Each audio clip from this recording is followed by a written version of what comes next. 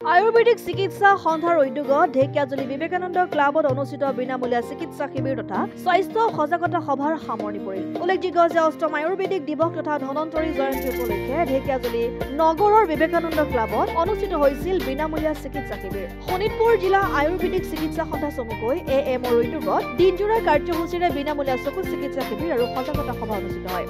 আয়ুৰ্বেদিক চিকিৎসা সন্থাৰ জিলা সমন্বয়ক জ্যোতিস্মিতা শৰ্মাৰ তত্বাৱধানত বিবেকানন্দ ক্লাবত অনুষ্ঠিত বিনামূলীয়া চিকিৎসা শিবিৰ তথা স্বাস্থ্য সজাগতা সভাত সন্থাৰ জিলা সমন্বয়ক doctor Mukul Thakuria D N O' doctor Ratul খালৈ ডাক্তৰ ৰমেন বসুমতাৰীকে প্ৰমুখ্য কৰি শোণিতপুৰ জিলাৰ আয়ুৰ্বেদিক চিকিৎসকসকল উপস্থিত থাকি ৰোগীসকলক সেৱা আগবঢ়ায়।